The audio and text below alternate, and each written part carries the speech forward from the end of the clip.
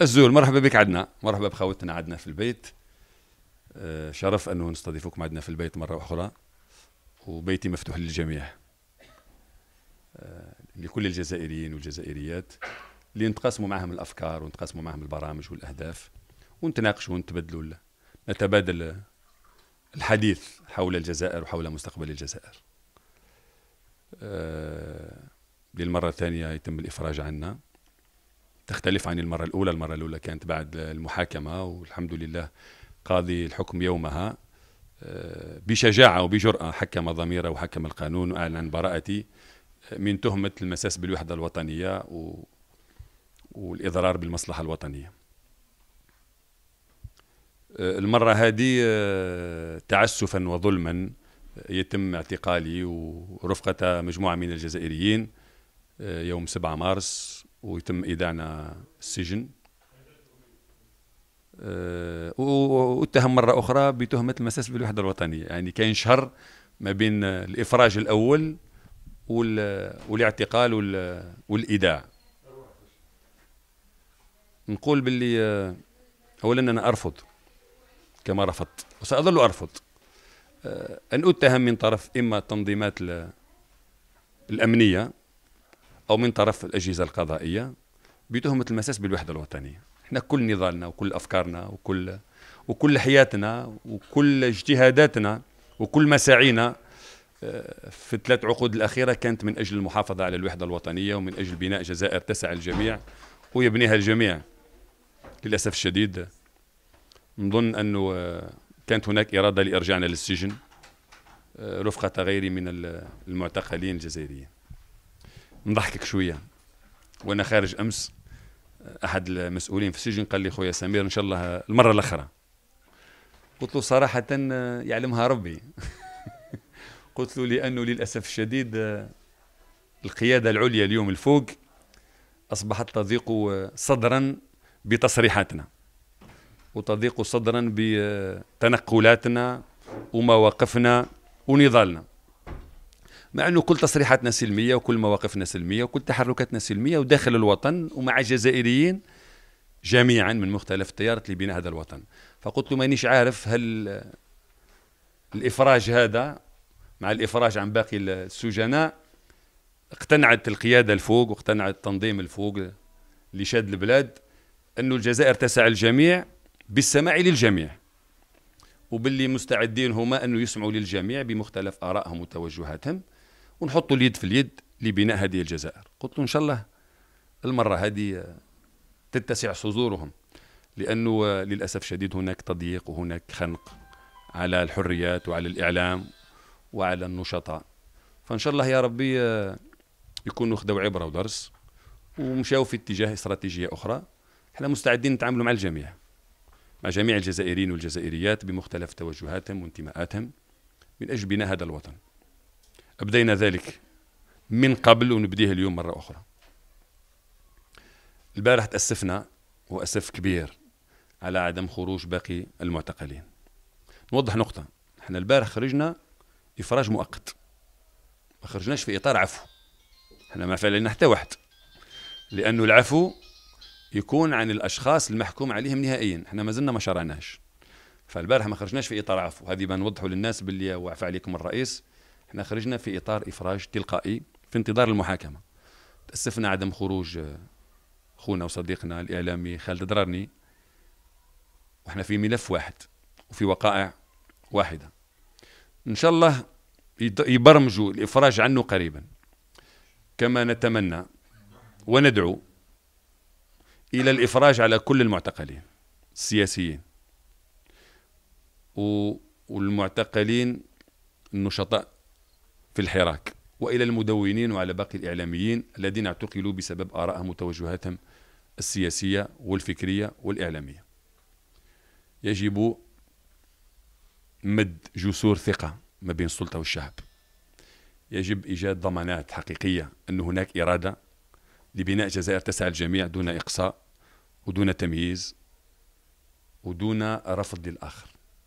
إحنا قلنا كما قال الله عز وجل تعالوا إلى كلمة سواء بيننا وبينكم.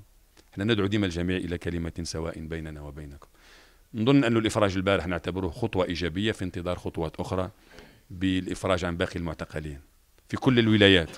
لن أذكر شخصا دون شخص ولكن نتمنى إفراج عن كل المعتقلين إن شاء الله تعالى. تقول لي آه، ماذا بعد هذه الخطوة؟ نقول لك يخرجوا خوتنا. وتتاح لنا فرصة الجلوس معهم. نسمع منهم ويسمعوا منا. أنا ربع شهور في السجن. عندي معطيات ولكن تغيب عني معطيات أخرى. علمت شيئا علمت شيئا وغابت عنك أشياء. نجلس مع أخونا كريم طابو عشر سنين عشر شهور وفي السجن. نزوروا الولايات.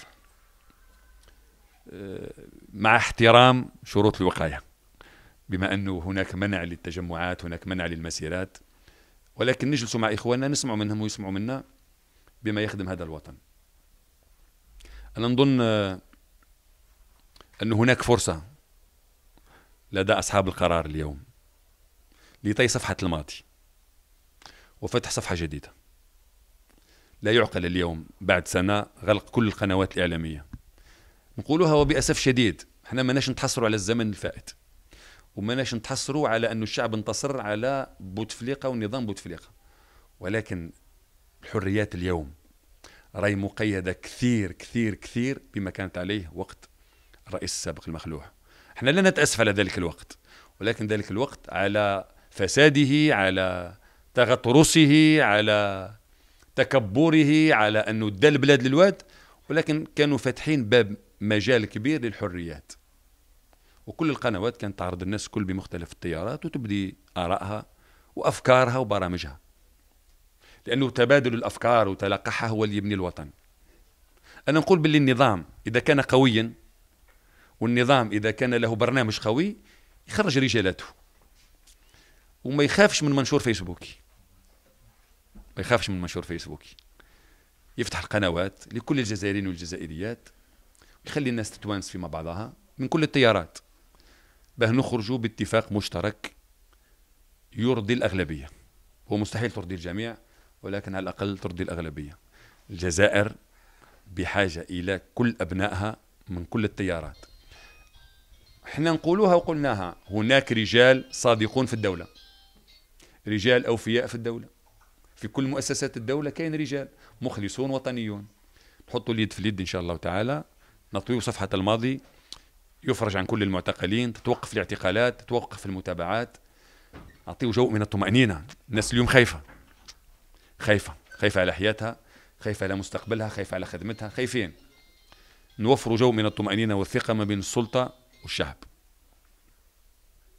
لما نوفر هذا الجو من الثقة والطمأنينة ونسمعوا لبعضنا دون إقصاء أو تمييز راح نوصل النتيجة إن شاء الله تعالى. وقل اعملوا فسير الله عملكم ورسول المؤمنون. شوف كاين مواضيع كثيرة مستعدين نحكي فيها في قادم الأيام. أنا حاب نستغل الفرصة معك هنا اليوم بنشكر فئتين من الناس. فئة الأولى هم فئة المحامين والمحاميات اللي قدموا الكثير قدموا ما زالوا يقدموا. قول لهم بارك الله فيكم جزاكم الله عنا كل خير. ربي يحفظكم.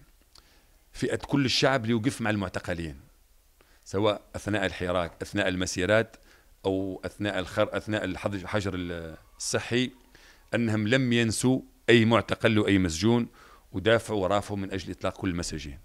خوتنا المحامين والمحاميات بارك الله فيكم. حفظكم الله ورعاكم. حماكم من كل سوء. ربي يحميكم من العين والحسد والشيطان. ربي وحد صفوفكم. وربي قدركم من أجل مواصلة نضالكم من أجل استقلال العدالة واستقلال القضاء. هذه فئة. الفئة الأخرى اللي بالنسبة لي وفي وجهة نظري قادت معركة كبيرة هي معركة الحياة. من أجل إنقاذ الجزائريين والجزائريات. هم هم فئة أصحاب كما يقولوا أصحاب المآزر البيضاء الأطباء والطبيبات الممرضين والممرضات أعوان الصحة أعوان الحماية المدنية أعوان الأمن شرطة درك أعوان النظافة. شباب المنخرط في العمل الخيري اللي ضحاوا وعملوا لإيصال المؤونات إلى العائلات في كل الولايات. نحيي أيضا رجال الأعمال اللي ضحاوا و... و... وتبرعوا بمال من أجل إيجاد هذا الكم الكبير من المساعدات. نحييهم جميعا. نقول لهم أنتم قدتم معركة كبيرة هي معركة الحياة. أنتم أبطال حقيقيون وهذا هو الحراك الحقيقي أيضا. لأنه للأسف الشديد بعض الناس حبت تحصر الحراك في مسيرات يوم الجمعة يوم الثلاثاء. الحراك أكبر. الحراك هو معركة بناء هو معركة تنمية هو معركة علم. الحراك هو تغيير في السلوك في الممارسات في الأخلاق. الحراك هو قبول الآخر. واحترام الآخر الحراك هو أن نضع يدي أيدينا في يد الجميع من أجل أن ننقذ الجزائر من المستنقع اللي كانت فيه ومن أجل نبني جزائر جديدة. أصحاب المآزر البيضاء أنتم أبطال حراك حقيقيون. أصحاب آه، الجمعيات الخيرية اللي المحتاجين أنتم أبطال حراك حقيقيون. الإعلاميون اللي ما زالوا صابرين وثابتين في الميدان أنتم أبطال حراك حقيقيون. أعوان الحماية المدنية كل ما نستثني فيكم حتى واحد أعمال عمال النظافة ضحيتم بجهدكم ووقتكم وحياتكم. أنتم أبطال حراك حقيقيون. الجزائر بحاجة إلى جميع أبنائها في كل مؤسسات الدولة في كل أجهزة الدولة وبحاجة إلى أبنائها في الأحزاب في النقابات في الجمعيات من أجل أن نبني الجزائر. أنا نعتبر باللي الفرصة هذه تاع الحجر نقدروا نقولوها صراحة نجلسوا مع أنفسنا مع غيرنا من أجل أن نقيم أنفسنا. تقييما موضوعيا. مش عيب نقولوا أخطأنا. أين أصبنا وأين أخطأنا. ما زال الحجر مستمر.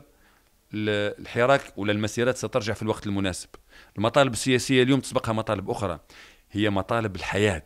اليوم المواطن يحتاج أنه يعيش. ما نقدرش أن نطالبه بمطالب سياسية وهو مهدد في حياته وهو مهدد في لقمته وهو مهدد في اقتصاده وهو مهدد في وظيفته. نوفروا الصحة ونوفروا العمل ونوفروا المؤونة ونوفروا الضمان للحياة وبعد ذلك نوفر المطالب السياسية. آه بارك الله فيكم قناة آه بربر تي في يسار آه اليوم رانا فرحانين كعائلة أولا. آه ثانيا آه كحراك وكشعب جزائري. فرحانين بخروج آه ما عب ما تم التعبير عنه كممثلي الحراك ولا كإطارات الحراك. آه كريم طابو سمير بالعربي آه أمير أبو راوي حميتوش وكثير من من الإخوان اللي ما زالوا يقبعون في السجون.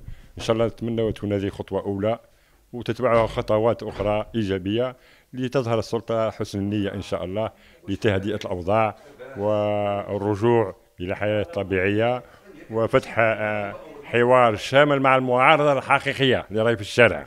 مرحبا بكم pour la deuxième fois. شكرا. للقناه الوحيدة اللي مازالت تتبع في الحراكيين بالك هي وقناه الاوراس الفرحة آه، هاي فرحة. وإن شاء الله الفرحة تعم الناس الكل إن شاء الله يخرجوا المساجين اللي مازالوا خالد درارني نقاز كل المساجين بدون استثناء. إن شاء الله آه، السلطة تستوعب الدرس وتعرف كيفاش تمشي مع كما يقولوا مع الوضع. نتمنى إن شاء الله يطلق سراح المساجين الكل. هذه أول كلمة.